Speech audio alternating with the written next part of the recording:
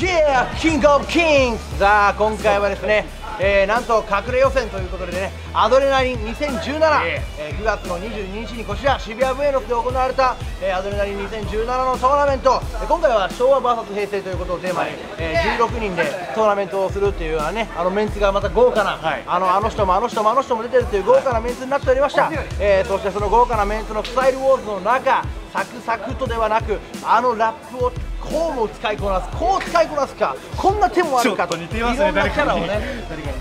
固め のおじきだね。さあそんなそんなあのテクニシャン間違いないでこれが間違いないということで。ねできますよできますよ。それできますでも彼は一番できています。もうなんというかねあのルイス・フィーゴのようなドリブルテクニック、懐かしい。素晴らしいパフォーマンスを見せて、はい、今日見事、はい、見事、はい、アドレナリン2017で優勝を勝ち取り賞金を勝ち取りそしてキングオブキングスに殴り込むぜこいつだ。ファンクいや来ましたファンク君。もう今日は選抜メンバーということでもう猛者ばかりでしたけどもいかがでしたでしょうか？みんな強かったです。めちゃくちゃ強かったです。そのキングオブキングスの本戦はさらにさらに今年の夏ねあの2017のいろんな大会を勝ち抜いて勝ち残ったいわゆるファン君と同格のその強かった中でもさらに強いやつらがいっぱい待ち構えてるんですけど意気込みの方はいかがでしょうか？いやまあ今日は正直、まあ、そんな勝ち上がれると思ってなくて、まあ、まぐれで優勝できたって、まあ、本心から思っててこのまぐれが最後まで続けばいいなと思ってま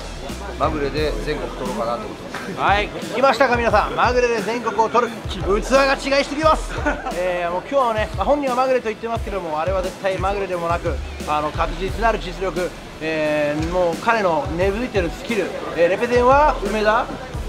梅田ですよね。梅田。大阪の大阪のファンクが東京のアドレナリンにてチャンピオンを勝ち取り2018に行われるキングオブキングスに勝ち込むぜ